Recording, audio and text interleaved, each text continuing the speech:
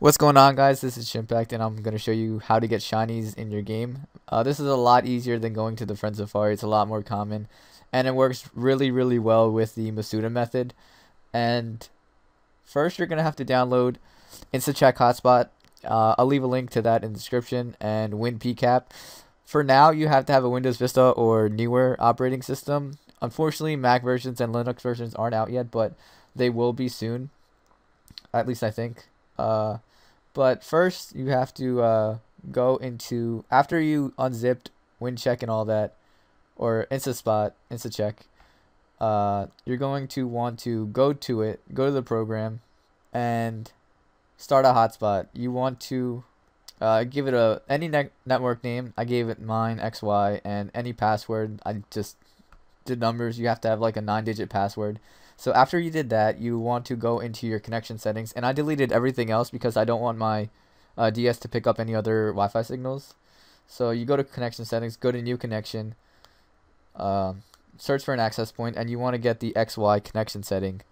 So after you do that, uh, you go to the XY setting, uh, you click XY, and then you enter your security that you put in. So mine was 1, 2, 3, 4, 5, 6, 7, 8, 9.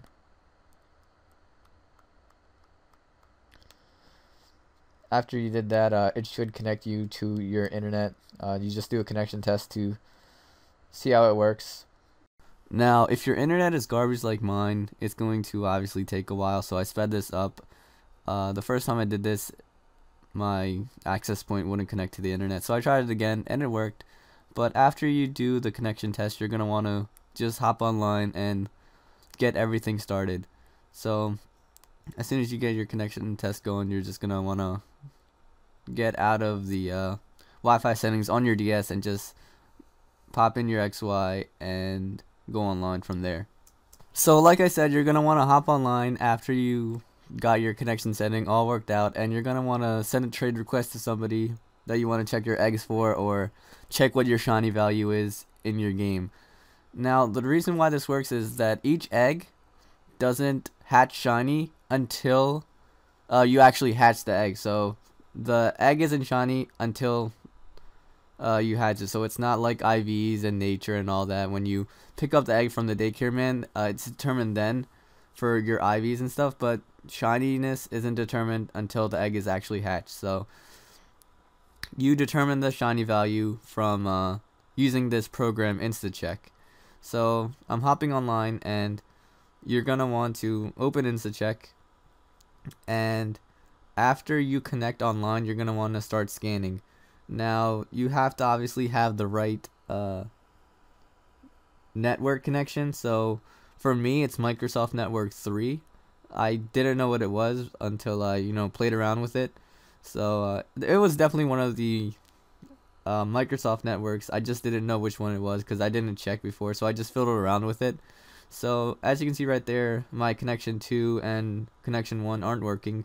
So I just stopped scan and tried 3 and it started working. So so the way this works is that each egg has a secret shiny value between 1 and 4100 and each trainer has a shiny value between 1 and 4100. So you have to get an egg that matches with somebody's trainer uh, shiny value and you just trade that egg to that trainer who has that shiny value and then it will hatch shiny on their game.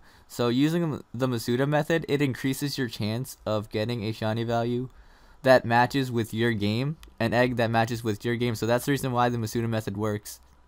And with this, you can just uh, breed a Pokemon egg, get a really, really good Pokemon, and then just trade it away to somebody who has a shiny value uh, that matches with your egg's shiny value. So you don't need the program to actually do this to check your shiny value and shiny value of your eggs because somebody else with the program, if you're trading with them, they'll be able to see your shiny value for your trainer and your uh, shiny value for your eggs.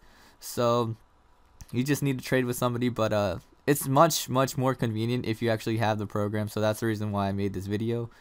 And yeah, as you can see, uh, for my Mareeps, for this particular Mareep, it's a 3424 shiny value. So if I trade it to somebody with a trainer shiny value of 3474, it will hatch shiny on their game.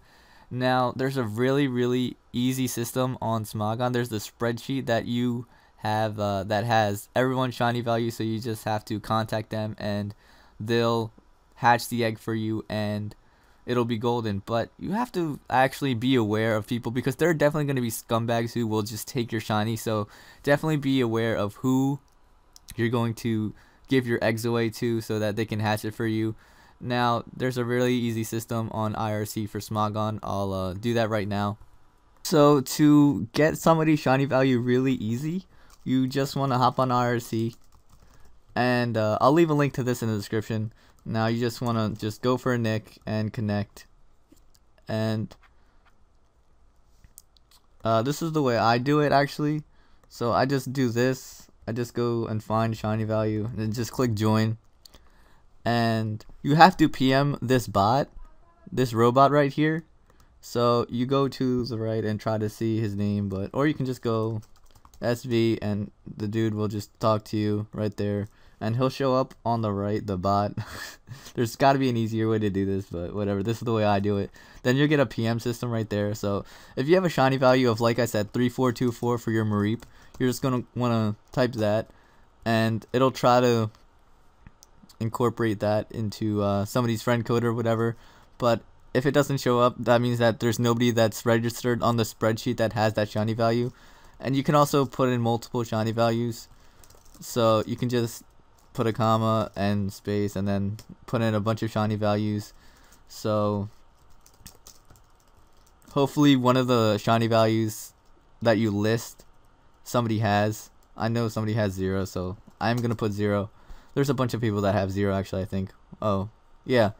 So you just contact uh, if you had a shiny value of zero, you just contact Umbreon LML and hopefully this guy isn't a scumbag and you can trade with him and he'll hatch your egg and obviously you can't nickname it because uh, it's gonna be on their game so just give it a nickname before uh, and they'll probably nickname it for you. So hope you guys enjoyed this video. Please please give it a like if you did uh, find it helpful. Subscribe if you want to see more videos. I'll definitely be doing a breeding guide soon so thumbs up for that and uh, I'll see you guys later. Peace